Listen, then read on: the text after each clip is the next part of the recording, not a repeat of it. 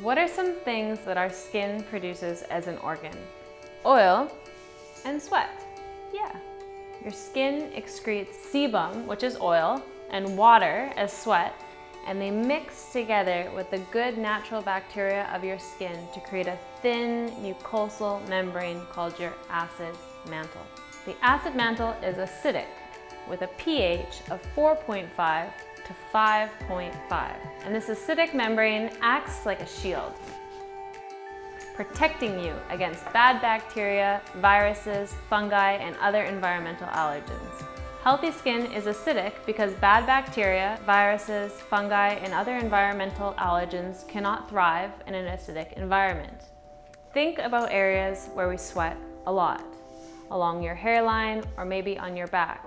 We typically sweat off our acid mantle, creating a breeding ground for bacteria, which can result in acne. The toners are made with apple and pear cider vinegar to help restore the natural acidic state of your skin after cleansing.